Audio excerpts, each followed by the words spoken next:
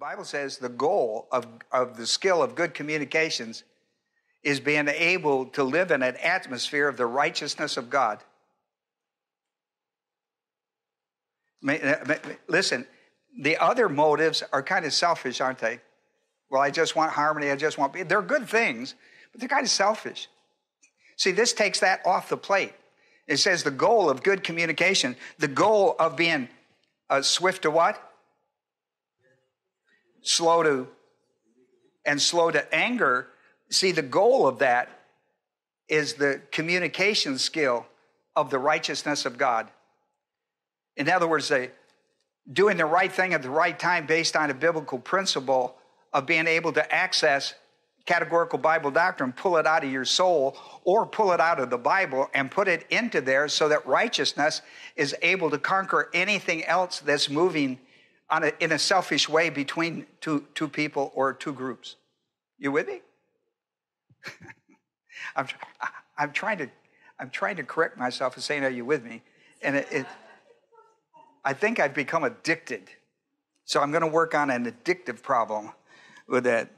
In verse 20, uh, verse 21, therefore, therefore, when it when you don't when your communications doesn't manifest the righteousness of God because you don't pay attention to these three skills that are important and you allow to get yourself involved in mental attitude sins Because anger is a mental attitude sin that can be manifested overtly or sin of tongue. Then he says, therefore, put aside all filthiness and all that remains of wickedness.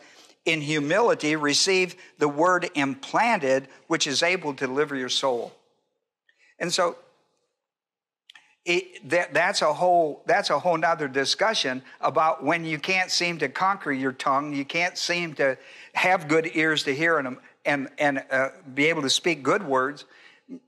You don't tear, you, listen, your words, the righteousness of God is not about tearing other people down, it's about building them up. And listen, there are two ways you can tear people down. You can do it verbally, you can do it physically, but listen, you can also do it mentally.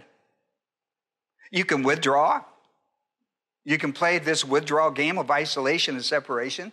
There are a lot of ways that this thus is manifested other than just in your face. That you should be considered because when that is, occurs, you're not using good skills and you're missing the goal of what the good skills are supposed to produce. The good skill is supposed to produce the righteousness of God. What is that righteousness we're talking about? Here it is, 2 Corinthians 5:21. He who knew no sin became sin for us, that we might be made the righteousness of God in Christ. You see that? The righteousness you want to give to other people is a gift. It's a gift.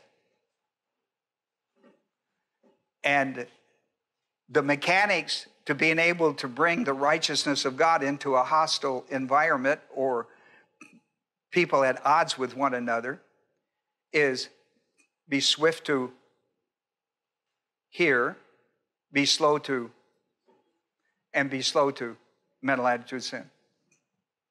Let's have a word of prayer and then we'll, we'll talk about how and what is our goal.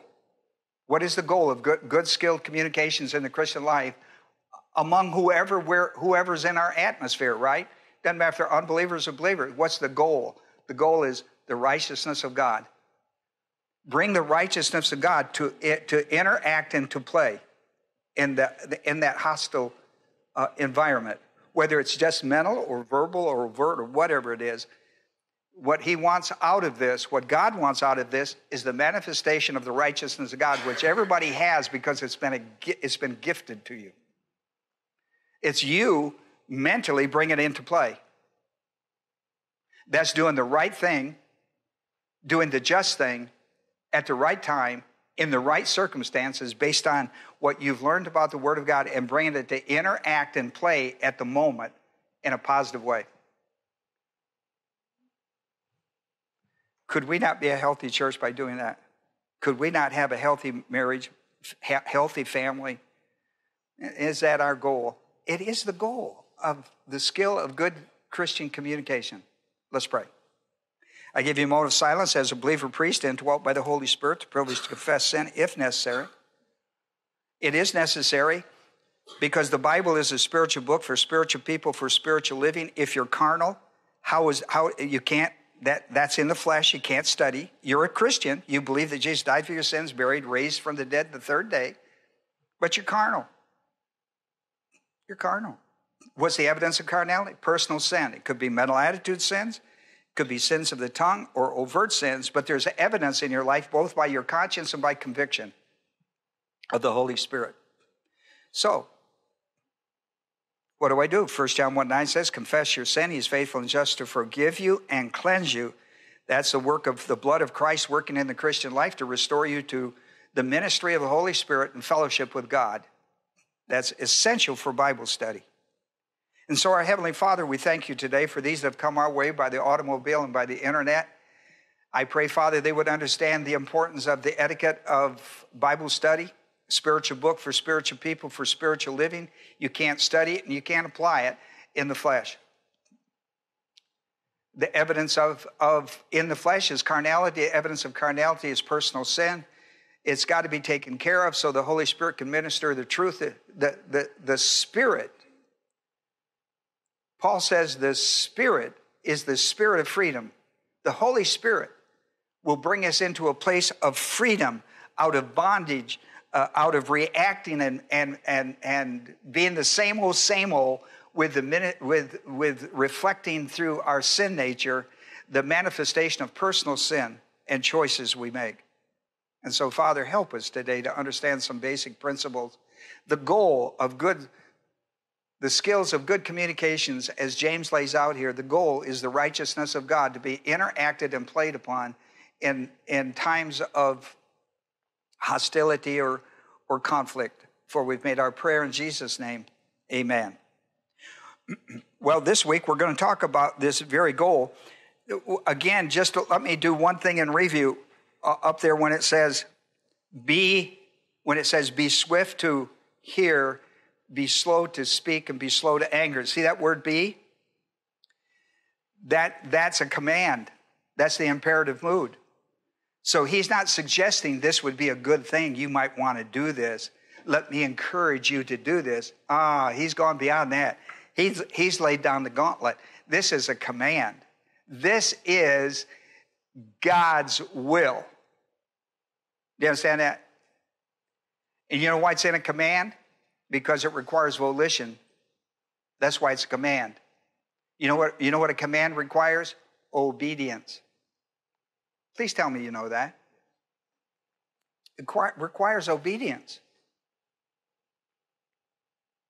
That and here and here's how that works. Let me show you how it works. Be swift to hear, be slow to speak, and be slow to get into mental attitude sins. See that? That's how this works. The command, see, that's a command. So when you're in that environment, come back to the command and apply the skills of good communications. And you'll learn today why. The goal is to bring the righteousness of God into interaction and interplay with whoever is at odds with you.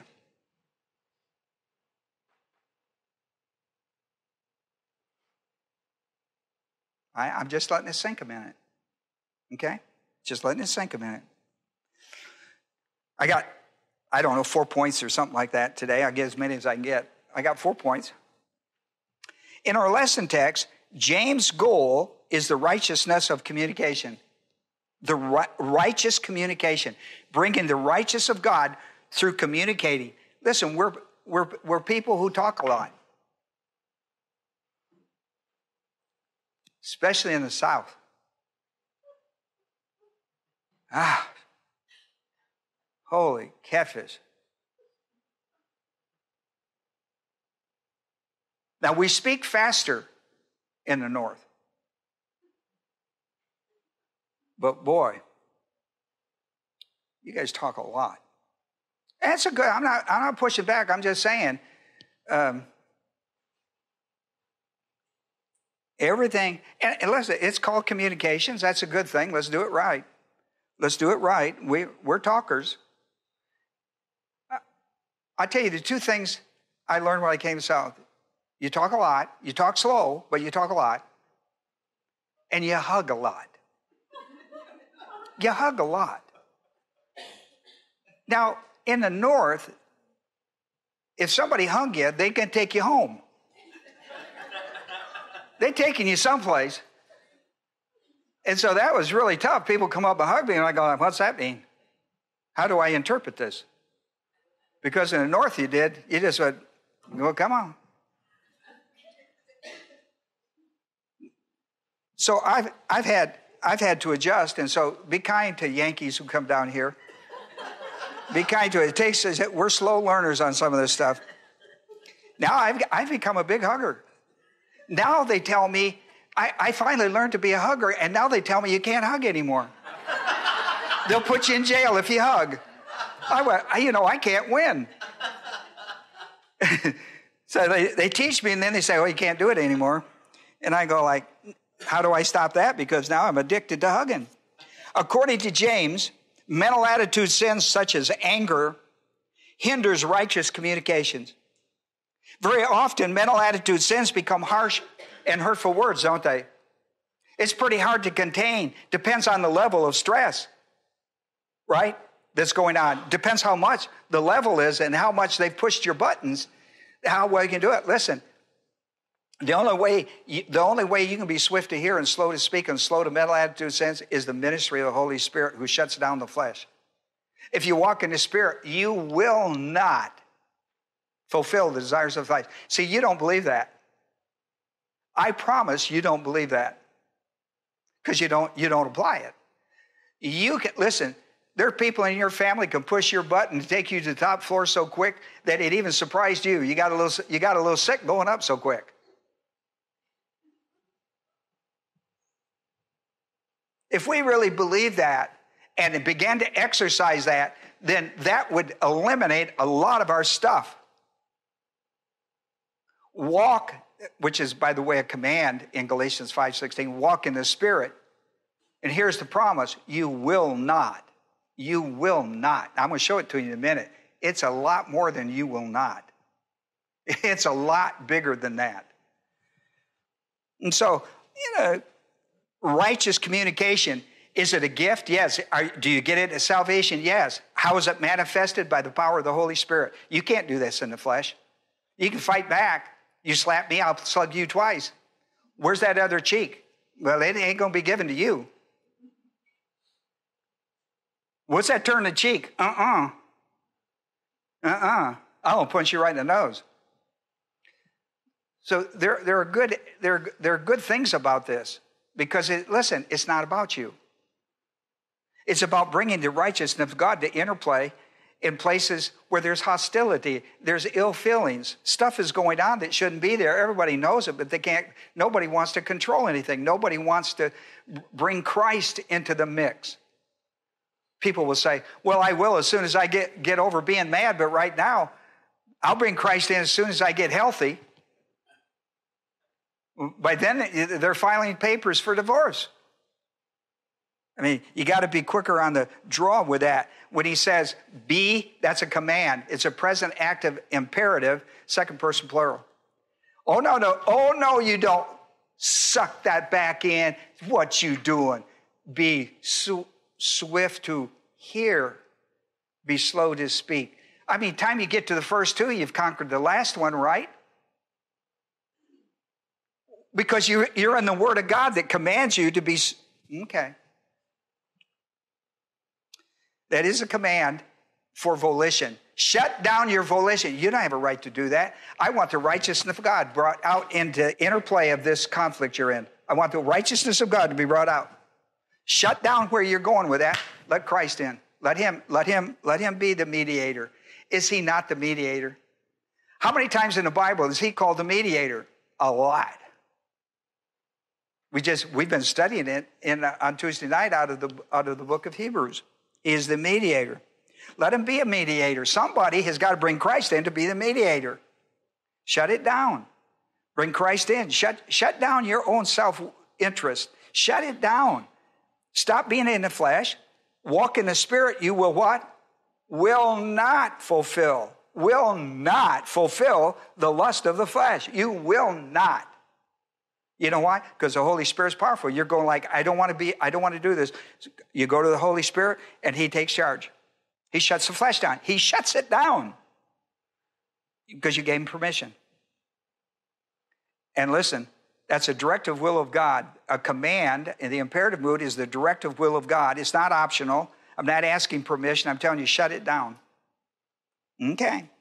And so James talks about that. The main issue being being lost by mental attitude sin and verbal sins and overt sin is the righteousness of God. It's been set aside. Oh, no, I'll, I'll be my self righteous. I'll be self righteous in this conflict. I'll have my say. It'll be my way or the highway and all these other goofy stuff. That's, that's self righteousness. At best, that's not best as far as God's concerned. He wants the righteousness of God brought into play. So I, I can't begin to tell you how important it is. It, Proverbs, in the book of Proverbs, there's an interesting word. You ought to pay attention to it. It's the word strife. And I just mentioned a few places that is mentioned in the book of Proverbs. In Proverbs 17 14, it says, the beginning. Now listen, the beginning of strife.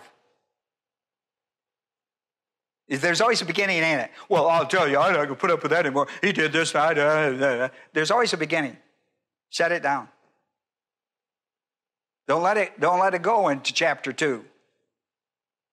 Shut it right down in the beginning. Shut it down right there. So we don't have three chapters on this conflict in our life. Listen to what he says. The beginning of strife is like letting water out, so abandon the quarrel before it breaks out. You know what it means? It means get control of the flow of water now so that it doesn't break the dam and flood the whole thing. That's what he's talking about.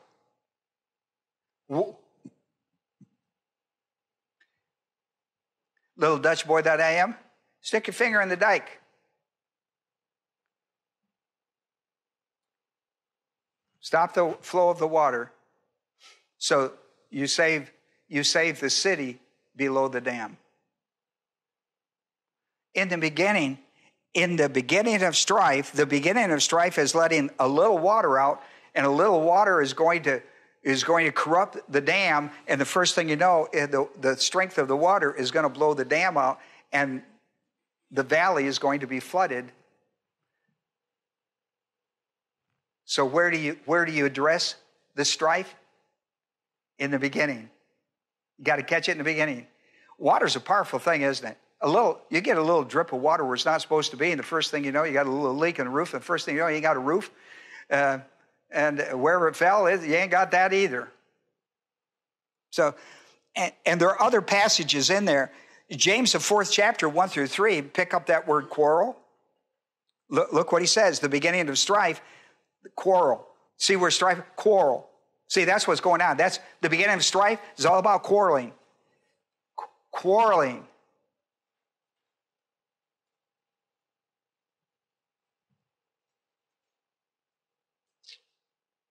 Quarreling. Do you know what the source of quarreling is? James 4 1 through 3. Tells you what it is. It tells you exactly what it is. What is the source of quarreling and fighting? He tells you what it is. It's self interest of your flesh. You know what he's telling you to do? Shut it down. You know why? Because it's the beginning of strife. And what's strife going to do? It's like a little water coming out. First thing you know, it's going to blow the dam out. The dam is going to flood everybody in the valley. Shut it down. Who's got the power to do it? I do. How, how do you have the power? I got the Holy Spirit of God. The Holy Spirit of God. The Holy Spirit of God indwells my life. I go to Him. I say, I have, I have, I have a request based on Galatians 5:16. Walk in the Spirit. I will not fulfill the desires of flesh. I pull that passage before you, Father, and I claim it in Jesus' name, and I apply it by faith to my life. You'll be amazed how well things go. Shut it down. Who's got the power to shut it down? You do. Not the other person. Don't give them that power. You have the power to shut it down on your side. You know, if the bridge goes out in the middle, two people on either side who are in conflict should shut the bridge down. Would you agree? They don't have to wait for consent from each side because the bridge is blown out in the middle. Somebody's got to shut the bridge down. And so on your half, you have to shut it down on your side. Whether or not you can get the other person to shut it down, I don't know. There'll be a disaster from side of the bridge, right? It's, it's only common courtesy. It's only the right thing to do. It's righteousness. It's the right thing at the right time and the just thing at the just time for, for, for that. So, what do you do? You shut the bridge down.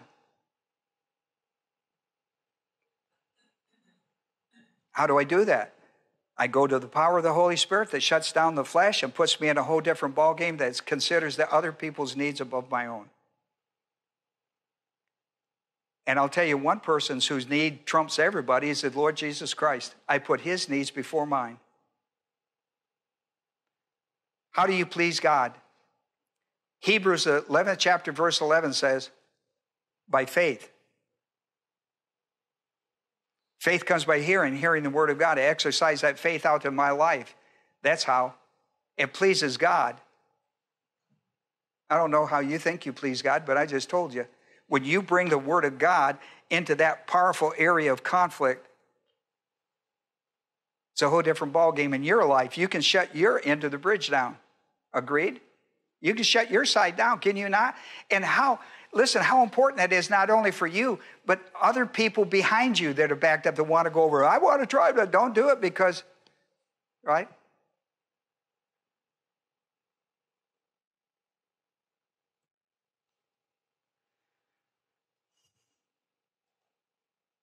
Here's point number two righteous communication.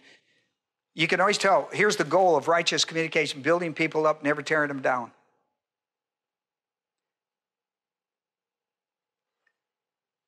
Though sometimes you can verbally tear people down, sometimes emotional, emotionally you can tear them down by the way you treat them.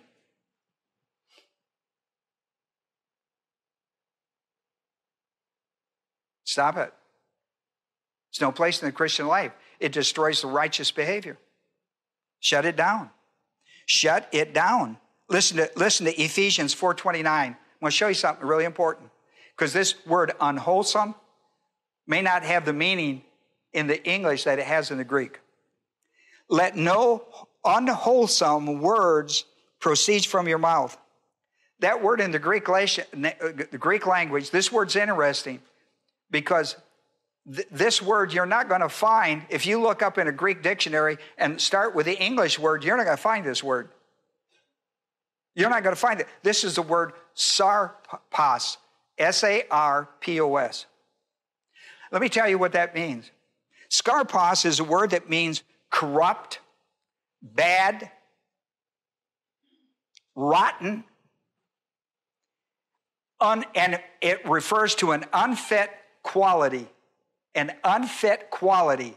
You know, you, you, you, you, go in a store, you buy an apple, you, you, you got all anticipation of a good, healthy apple in your mind. You just wanted the apple so bad. You take a bite in it, it and it's rotten. That's, just, that's that word. Unwholesome. It shouldn't be there. What should be there is what is designed to be. There should be skills of good communication, which is be swift to hear, slow to speak, and slow to mental attitude sin. Unwholesome is a word mean unfit quality for a situation. Let no unwholesome what? Now, what are we talking about? Apples, pears, oranges? No, we're talking about words. Words that are not healthy, words that don't build people up. This is what the Christian life is about. It's about building people up with words, not just words of flattery, words of truth. Proverbs has a lot to say about that. Let no, let no unwholesome words proceed from your mouth, but only a word as is good for edification, meaning building people up, according to the need of the moment. Watch this now. This is bringing righteous communication in. Watch this now, so that it will give what to the hearer? Give what to the hearer? Grace. Brings humility, brings grace orientation, brings grace orientation, brings humility, not my interest, but God's. It brings humility into the environment. That allows you to have righteous communications. Your goal, the goal of righteous communication is to building other people up and to give grace to the hearer. Did you notice that? Not unwholesome words that proceed from your mouth, but only such words as good for edification to build up according to the need of the moment, so that it will give grace to the hearer. Romans 14, 19 says, So then we pursue. That's an interesting word, too, isn't it? Pursue. That's not walk after somebody, would you agree? You're on a chase. Pursue is dead run, not a slow walk. It's a dead run. Pursue the things which make, pursue the things which make for peace and the building up of one another. Can you do that in the flesh in the heat of the moment? Never. What can you do? Go to the Holy Spirit who dwells your life. You got Galatians 3 2, you got the Holy Spirit, the point of salvation. You're in the new covenant period. You live in the new covenant. The Eucharist says this is a cup of the what? New covenant. We're new covenant people. You have the indwelling third member of the Godhead living inside of us. Do you know how phenomenal that is? Nobody, nobody but nobody had this. I'll get Sam up here in a moment with his guitar and we'll go on the road. Look, we pursue the things that bring peace. We're peacemakers. We bring peace in it. You can't do that in the flesh. Galatians 5, 22, 23. In 16, walk in the Spirit, you will not fulfill the lust of the flesh. In 22, the fruit of the Spirit is love, joy, love, joy, peace. Love, joy, peace. Supernaturally. The Holy Spirit produces it supernaturally. When you look to Him, you need peace. Boom, there you got it. Instantaneous, supernaturally. Could you do it in the flesh? Mm-mm. Mm-mm. There'd have to be a lot of bargaining. and that wouldn't be righteous. A lot of bargaining to get there. Mm-mm. Instantaneous. The fruit of the Spirit is love, joy, peace, kindness, gentleness, right? All, all these good things, they're supernaturally produced by the Holy Spirit in you, not by the flesh. The, the, these things can be done by the flesh, but it doesn't have the same impact because the flesh says, I'm, I'm looking for something to get. The flesh is always on the move. I want something from this person, so I'll be kind, I'll be gentle, I'll be good, I'll be that. I want, I want, I want, I want, I want. That's the flesh. You know what the lust of the you know what the lust of the flesh means? Appetite. It has an insatiable appetite. The flesh, you can never give it enough. Well, I'm just going to eat one little piece of pie. It's my favorite. Oh, wait a minute. I think I have. Wait a minute. I'll take that second piece now. My family, we were farmers. On Sunday was a big day. I guarantee you, nobody left the table until we nearly didn't have pants on we would undo the top button and then do the belt, and then grandma go like maybe one more piece. Grandma go like no more until the, you go out and do some work. Because she didn't want to see a bunch of men sitting around the table naked because the, their pants wouldn't fit. I mean, I was telling you, the lust is insatiable. The more you feed it, the more it wants. That's called addiction. Mm-mm. Listen, we don't, we don't have to be victims to that. We have a flesh, but we don't have to be victims to it. We can be victors because in there, in opposition to our flesh, is the Holy Spirit of God, the third member of the Godhead. I don't know why I'm talking like somebody from the East, but all of a sudden, I, I was in New York or someplace. I do that every once in a while. I don't know where that comes from. The devil. Oh, yeah, could be. Could be. I don't know. Point three, building up others is, is achieved by the love of God. What is the primary motivation? It's always the love of other people. I want to bring the love of God. I want the righteousness of God to be part of my communications. I want the love of God. I want the love of God to be a motivating factor in my life. For God so loved the world. You know what that is? It has a love motivation, motivation factor. Where that all came from. Let's try to write that down on your paper one time. Well, anyhow, building up others is achieved by, by the love of God motivation. It's a primary. It, it, listen, it proceeds supernaturally. The love of God is a super, listen, Romans 5 5, I love this passage. The love of God is poured out within our, our, our hearts. The love of God is poured out within our hearts at the moment of salvation. Romans 5 5 the fruit of the spirit in galatians 5.22 is love top top right on the top ladder right?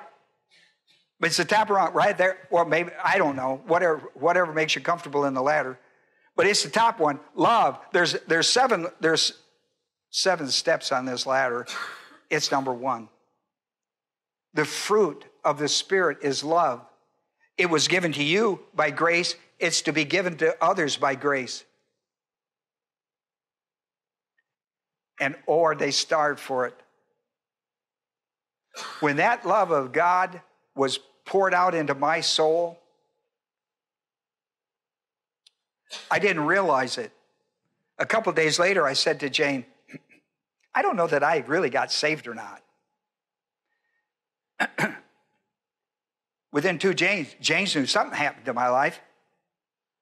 And so she said things like, Well, how you know, how, how, how are you?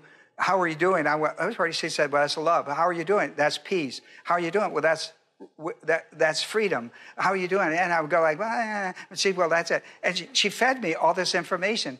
Listen, that's how you know you're saved because the, the Holy Spirit of God in you is producing some of the things that He said He gave you by grace. And I went, huh.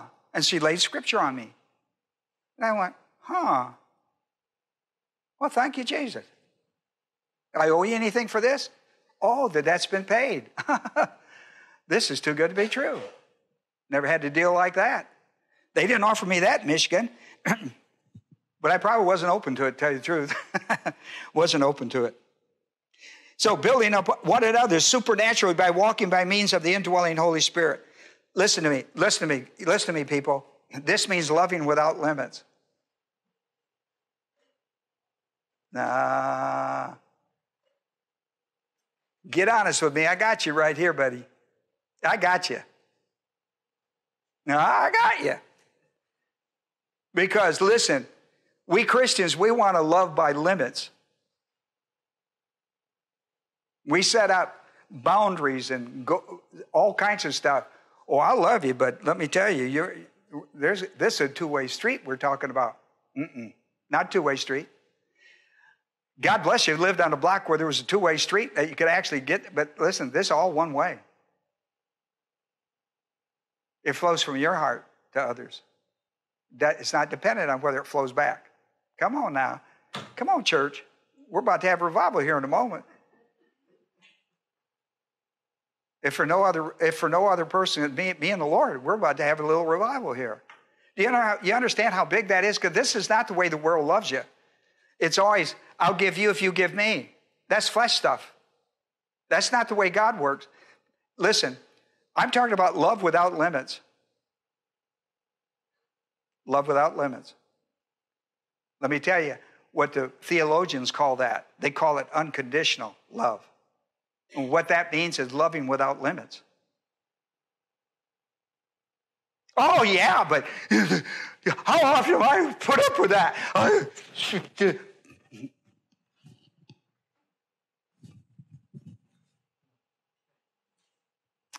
Love without limits.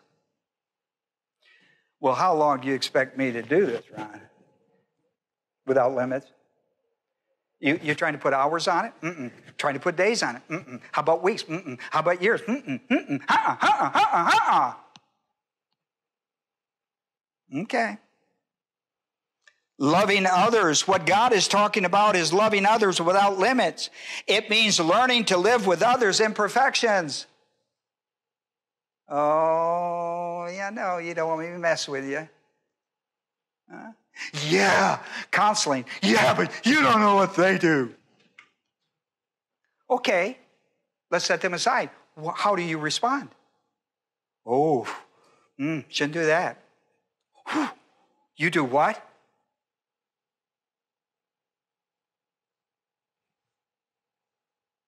You draw his water for him, said, Honey, I got your water drawn for you take a bath.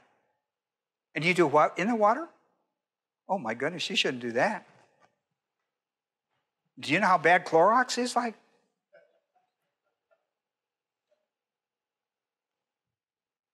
Come on, people. Loving without limits.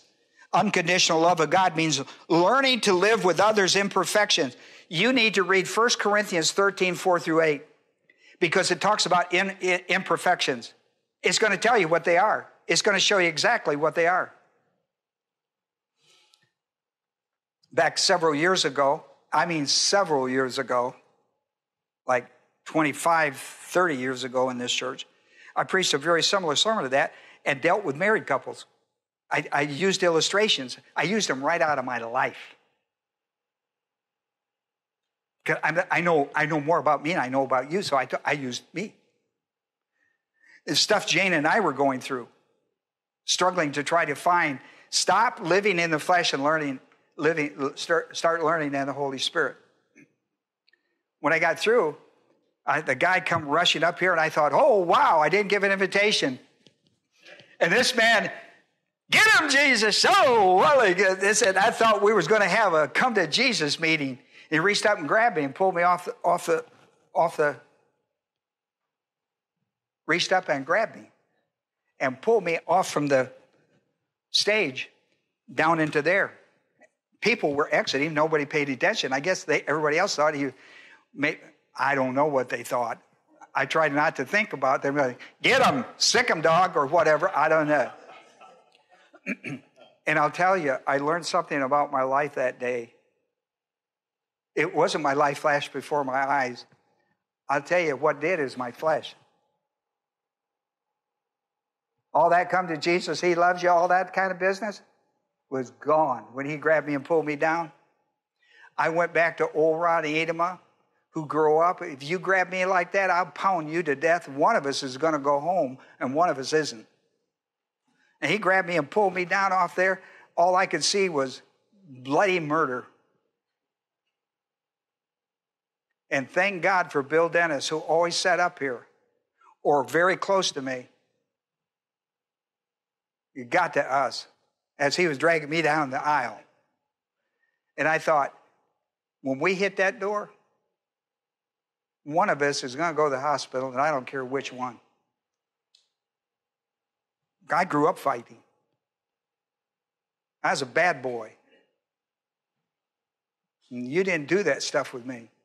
And I tell you, I was in the flesh. All I was thinking is how I'm going to, when he hits that door, how I'm going to get him. I'm going to put him in the worst place he could possibly ever be. I could hear my uncles cheering me on. Go get him, Ron. Go get him. Go get him, Ron. And Bill Dennis stopped me, and I'll tell you, that was a, a come to Jesus meeting for Ron Adema.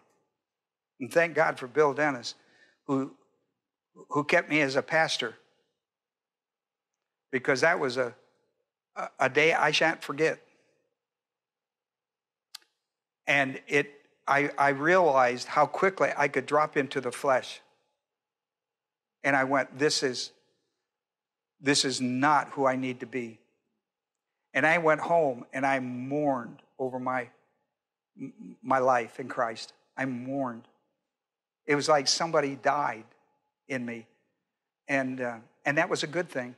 I went home and mourned. What kind of a pastor am I? That I would allow this person, drag me where you want to drag me, but give me a moment to tell you about Jesus Christ. That was the farthest thing from my mind. It should have been the closest thing. And it was quite a moment for me in the pastorate because Bill Dennis spared me to allow me to get back on my feet for Christ. Eh, we have to learn to love without limits. Other people shouldn't put them on us. The Lord should put those limits on us. Other people shouldn't be able to put limits on us. The love of God is a magnificent, powerful thing. And in 1 Corinthians 13, you want to read this because you're going to see some 15 things listed here. You need to separate. They're going to say, This is what love isn't, this is what love is. When I went home that day, the Spirit of God would not let me have any peace until I read 1 Corinthians 13 and said, Who are you in this picture? It was very obvious who I was. it was pretty obvious who I was. And then he said to me, Who should you be? And I said, I should be the guy that doesn't, that is able to love unconditionally. I should be that guy. And he said, Well, you have to walk in the Spirit to do it. And I went, That was a, that was a whole new day in my life about walking in the Spirit. I, I realized I walk in the Spirit when it's convenient. And when it's not, I go to the flesh and the heartbeat. That's not the way to live the Christian life. That is not the way to live the Christian life. So I give you another verse. It may not be in your paper. You know, I'm not, when I say I want you to get out of flesh and go to the Spirit, I'm not talking about biting your lip. When it says be slow to speak, now, if you have to bite your lip, but listen, there's a better way than biting your lip. You know, I hear people say, well, I just, I suck it up, bite my lip. And I know what they mean by that because I've been, I've been that kid myself. That's not what I'm talking about. I'm talking about go to the Holy Spirit where you can offer uh, a love and peace and, and all that kind of stuff. Listen to me. If you walk in the Spirit, you will not, what? You will not fulfill the desires of the flesh. You will not fulfill the desires of the flesh. I, I want to close because I'm out of time. I want to show you something. Now, point number four, I got from Al. Al taught Tuesday night, Wednesday night, Wednesday night. He used a toolbox illustration. I really love that, Al. That was a great illustration to me as an old boy with a toolbox. That was a great illustration how you reach in there and you pull out. So I went into spirituality and point four, I want you to pay attention to that. But I want to show you something because I got to close. I want you to drop down. I'm, at, I'm on point four. You're going to have to study this on your own. One day I'll come back and talk about it. I want you to drop way down towards the end where it says there's a struggle a spiritual advanced believer goes through regarding temptation to sin. All right. And I gave you, I, I did Galatians 5.16. I want to show you something. Are you with me on that one? It says command and promise. Do you see the command and the promise? Okay. Now watch it. Here's the command. I say walk. That's peripateo in every activity of your life. You know that now, don't you? When we say peripateo, we mean in every activity. You know, your life is like a pie and it's divided into all kinds of parts, right?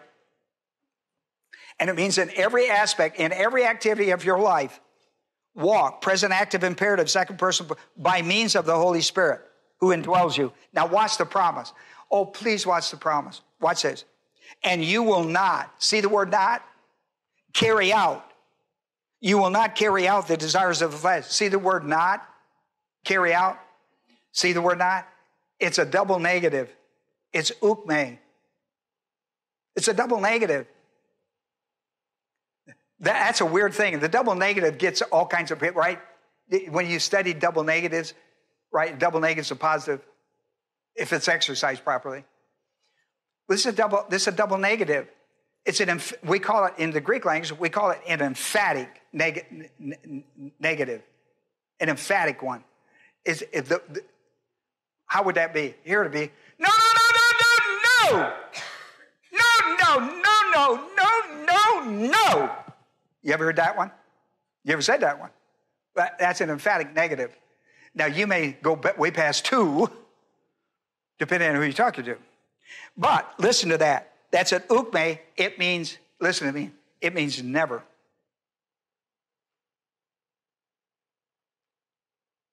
Never, never, never, never, never, never, never, never, never, never, say never. So I can quit. That means never. Now, watch this. Here's the promise. Here's the promise with a command. Here's the command walk in the Spirit, right? Walk by means of the Spirit, which is command, was volitional, right? And you don't, listen, the reason it's there, the command requires obedience. And, and listen, here's the promise. What? You, second person plural, if you if you if you obey the if you obey the promise, the command, here's the promise, you will what? Yeah, stronger not. This is this is two or three knots. Never. Is that absolute? Guy walks you to the door, and he said, I'll call you. Next Friday, we'll go out. And you think to your mind, if this slug gets me home, that ain't going to happen. And You say, never, never call me again. Never. Can't be one of these. Never. That's not this word. This is never, you will, now watch, you will never carry out the desires, the flesh. Listen, this is the lust appetite of the sin nature. You will never, but you got to do what? Never, but you got to do what? You got to walk by means of the Holy Spirit. You will never, can you break, listen, you can break any addictive behavior in your life. It starts with learning how to walk with the Spirit and then changing your mind thinking, but it begins right here. Supernatural control over your flesh. The Holy Spirit is the only power that you have accessible by grace to control the sin nature.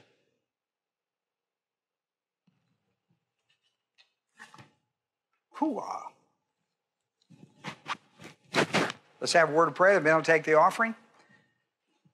Father, we're so thankful for all that you've provided for us in grace.